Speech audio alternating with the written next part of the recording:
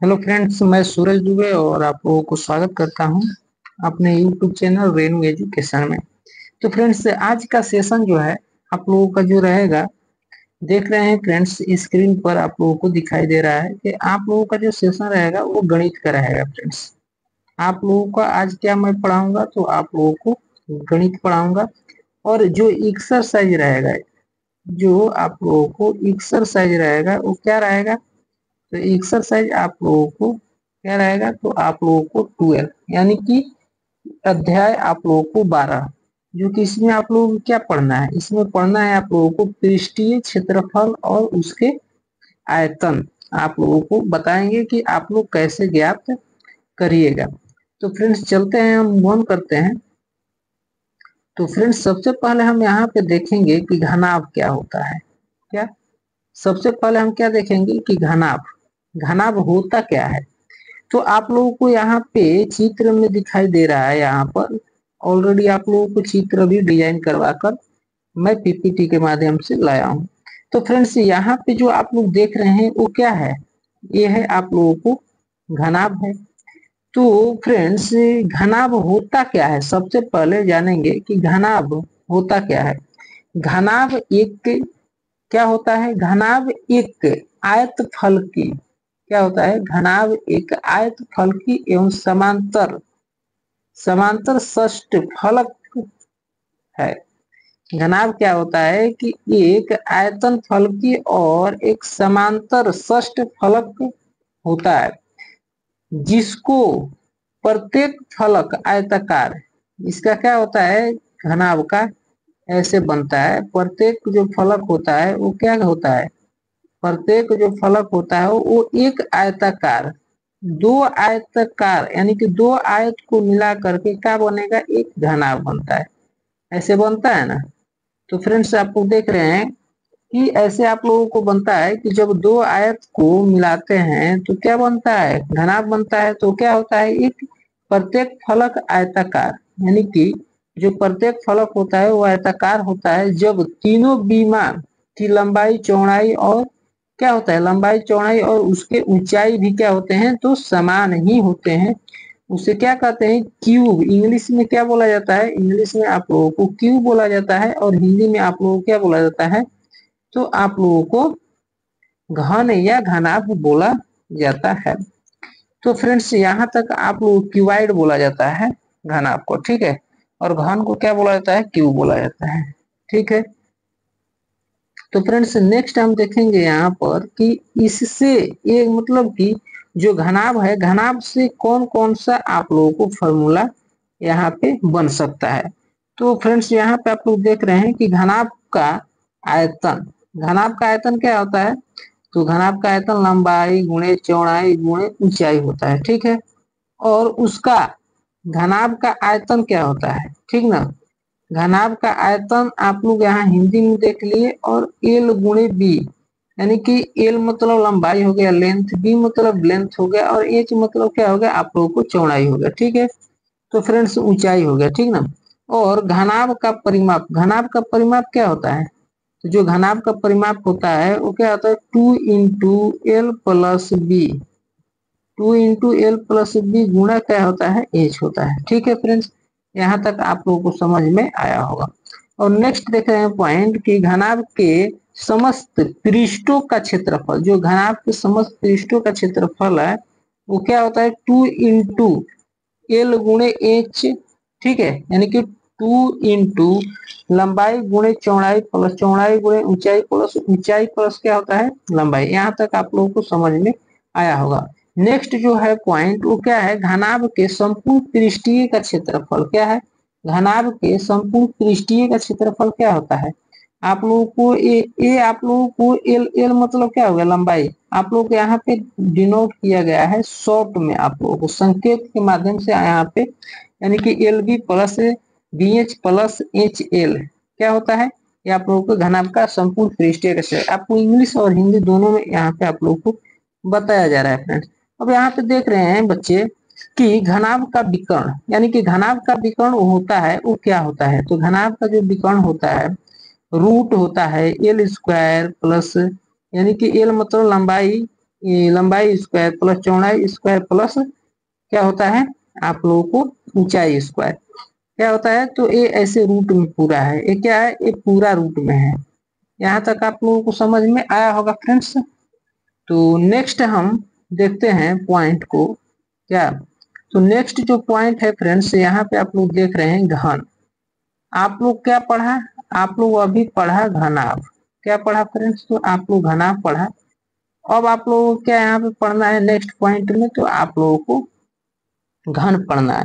घन का मतलब आप लोग जानते हैं, ये बर्फ़ को, दो बर्फ़ को मिला करके एक क्या बनाया जाता है? आप लोगों को घन बनाया जाता है। फ्रेंड्स आप लोग ये भी सुना होगा कि जैसे घन किसको बोला जाता है? ये जो हथौड़ा हथौड़ा होता है, उसको भी क्या बोला जाता है घन? जो हथौड़ा होता है, वो एक घन के ही आकार का होता है, ठीक ना? यानी कि आप लोगों को मैंने बनाया, बताया कि घनाभ जो होता है, वो क्या होता है? दो आयत से मिलकर बनता है। और जो घन होता है, वो क्या बनता है? कैसे बनता है? यहाँ पे आप लोगों को बता रहा हूँ। दो वर्ग जब मिलेंगे तो क्या बनेगा आप लोगों को? जब दो वर्ग मिलेंगे तो वहाँ पे क्या बनेगा फ्रेंड्स तो आप लोगों को घन का निर्माण होता है। तो सबसे पहले तो हम जानेंगे यहाँ पे कि घन का आयतन क्या होता है।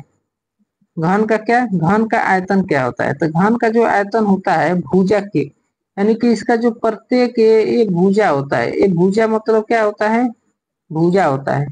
उसके जो साइड के कॉर्नर का जो है, भूजा क्या होता है फ्रेंड्स? ये जो साइड साइड में है, वो क्या हो गया? भूजा हो गया।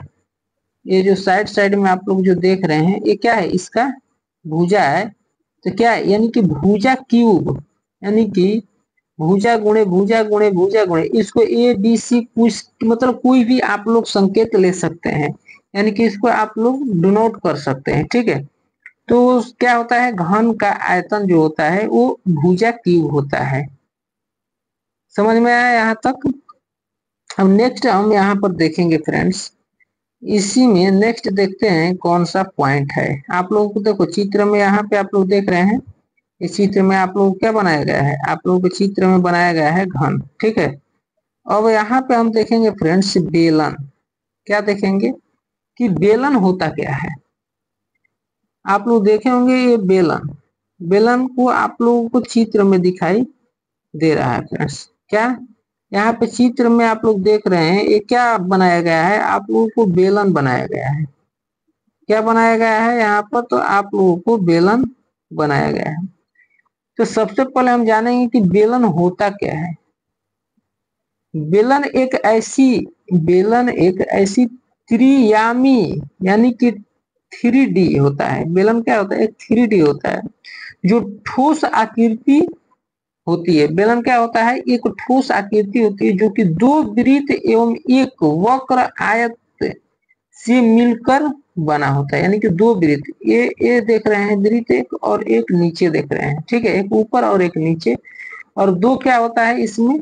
और एक वक्र आयत, यानी कि वक्र आयत। वक्र आयत का मतलब कि ऐसे आयत बना दिए और दोनों साइड से इसका मुँह खुला रहेगा। उसको क्या बोलेगा?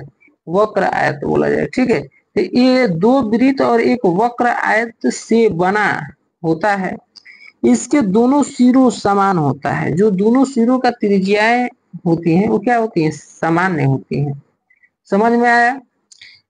तो यहाँ तक आप लोगों को बेलन समझ में आया होगा। अब देखते हैं यहाँ पर सबसे पहले कि बेलन के अंदर सूत्र क्या होता है। ठीक है, बेलन में क्वेश्चन कैसे पूछा जाता है?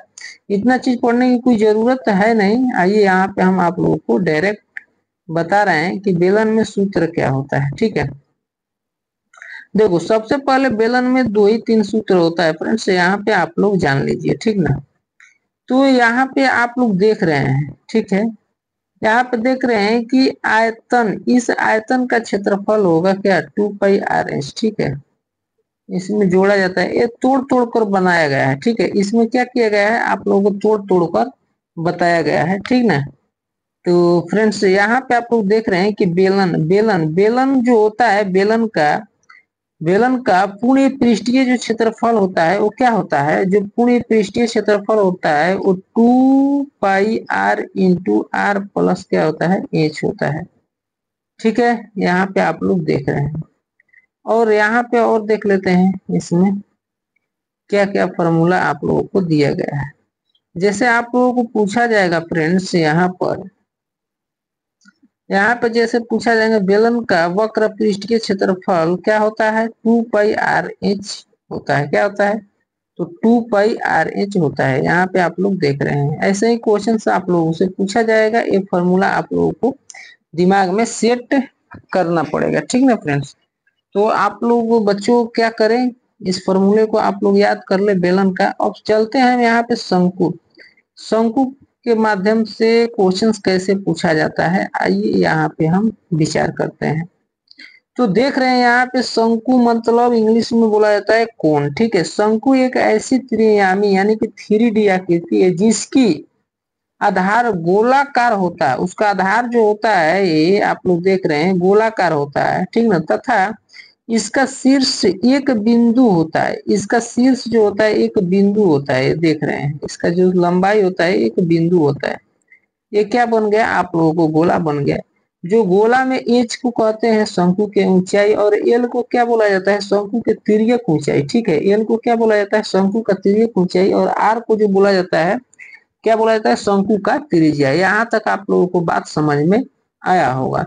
तो आइए यहाँ पे हम देखते हैं कि इसमें सूत्र क्या क्या बनता है, ठीक है?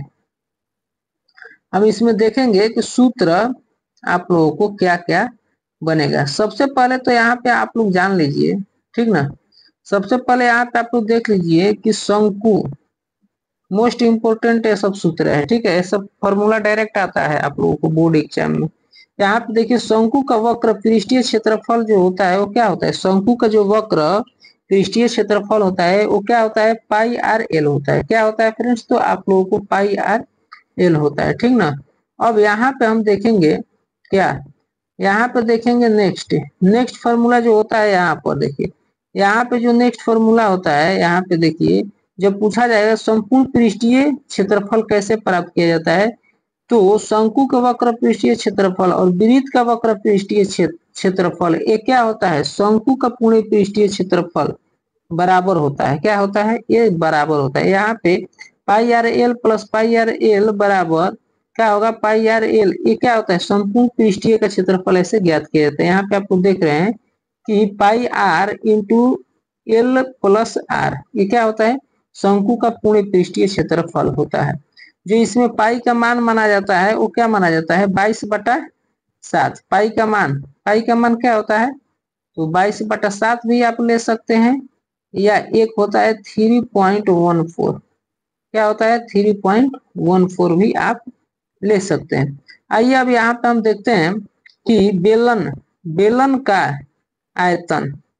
यहाँ पे क्या देखेंगे? बेलन का आयतन। यहाँ पे गलती कर दिया है फ्रेंड्स यहाँ पे टाइप मिस्टेक है, ठीक है? यहाँ बेलन नहीं रहेगा, यहाँ पे क्या रहेगा? शंकु। ठीक है? शंकु का आयतन क्या होता है? पाई आर स्क्वायर एच होता है। क्या होता है? Pi R square.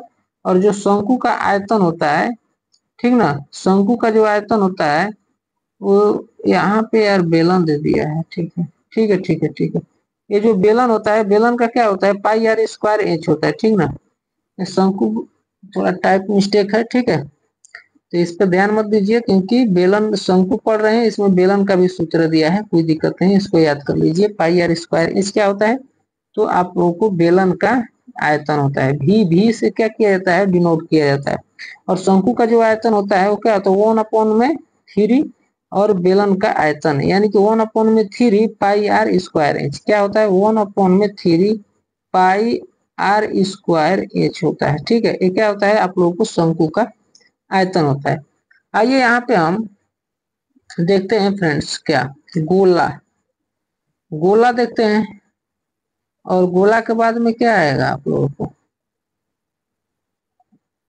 गोला के बाद में आप लोगों को चैप्टर पढ़ाएँगे, ठीक ना? गोला के बाद में आप लोगों को वही ठोस ओस आएगा।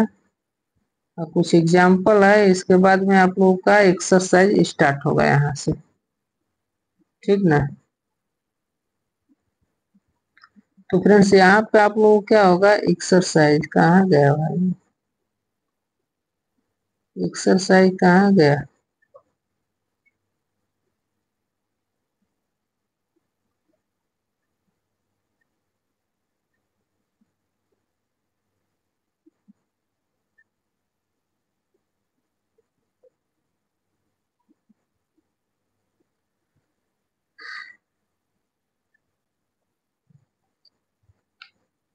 इसमें एक्सरसाइज नहीं दिया है का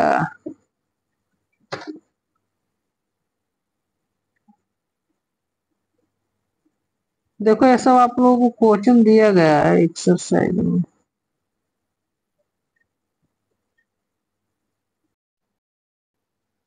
तो फ्रेंड्स, यहाँ पे क्या देखेंगे हम लोग? यहाँ पे आप लोग देख रहे हैं, एक्सरसाइज। एक्सरसाइज गलती लिख दिया है क्या? देखो फ्रेंड्स एक्सरसाइज जो आप लोगों का है, वो क्या है? एक्सरसाइज जो आप लोगों को है यहाँ पर, यानी कि तेरह पॉइंट वन तेरह पॉइंट वन होता है, ठीक ना? ये क्या है? एक्सरसाइज आप लोगों को तेरह पॉइंट वन तेरह पॉइंट वन में आप लोगों का जो फ़र्स्ट क्वेश्चन है, आप लोग तेरह पॉइंट वन में फ़र्स्ट जो क्वेश्चन है, दो गणों, जिसमें प्रत्येक का आयतन, यहाँ पे प्रत्येक आयतन दिया है क्या? प्रत्येक का जो आयतन दिया है, वो क्या दिया है? घन में आप लोगों को प्रत्येक का जो आयतन दिया है, वो क्या दिया है? चौसठ दिया है। तो भूजा बराबर यानी कि ए बराबर क्या हो जाएगा? ए बराबर आप लोगों को चौसठ का रूट हो जाएगा, ठीक है? तो ए का मान क्या हो जाएगा? ए का मान आप लोगों को चार आ जाएगा। ए का मान आप लोगों को क्या आएगा? ए का मान आप लोगों को चार आ जाएगा, ठीक है? यानी कि ए का जो किनारा, उसका जो किनारा रहेगा, वो क्या रहेगा? चार रहेगा। आपको लोगों से क्वेश्चन में पूछा क्या गया है? क्वेश्चन में पूछा गया है कि घनाभ का पृष्ठीय क्षेत्रफल ये जो घनाभ है, इसका पृष्ठीय क्षेत्रफल आप लोगों को मालूम करना है। तो आप लोग जानते हैं कि घनाभ का जो पृष्ठीय क्षेत्रफल होता है, वो क्या होता है? ठीक है? तो घनाभ का जो पृष्ठीय क्षेत्रफल होता है, वो क्या होता है? घनाभ का जो पृष्ठीय क्षेत्रफल, ये घन का आयतन इतना दिया है तो इसका किनारा क्या आ जाएगा? चार आ जाएगा। इसका किनारा क्या आ जाएगा? चार आ जाएगा। यानी कि फोर ए हो जाएगा, फोर ए हो जाएगा और फोर ए हो जाएगा। ये किनारा क्या हो जाएगा? चार हो जाएगा। ठीक है। तो यहाँ पे आप लोग देख रहे हैं। लंबाई लंबाई कितना हो जाएगा? यहाँ तक फोर है और फोर यहाँ तक है। तो टोटल कितना हो जाएगा? आठ। इसका लंबाई का मान कितना हो जाएगा? लंबाई आप लोगों का कितना हो जाएगा? तो लंबाई जो हो जाएगा, वो आठ हो जाएगा। चौड़ाई और ऊंचाई बराबर आता है, ठीक है? लंबाई बढ़ जाता है, ठीक ना? तो अब यहाँ पे आप लोग फॉर्मूला पे जब रखिएगा इसको, इस फॉर्मूला पे two into L B plus B H plus क्या होगा? एच एल एच इस फॉर्मूला पे जब आप लोग रखिएगा फ्रेंड्स तो आप लोगों को यहाँ पे देखिए यहाँ पे रखने के बाद में आप लोगों को आ गया ठीक है? टू इंटू एल एल मतलब लंबाई आठ है, बाकी ऊंचाई और उसका चौड़ाई क्या है? चार चार है। ठीक है? तो बत्तीस प्लस सोलह प्लस बत्तीस से और बत्तीस से सबको जब ऐड करोगे, क्या हो जाएगा? अस्सी हो जाएगा। और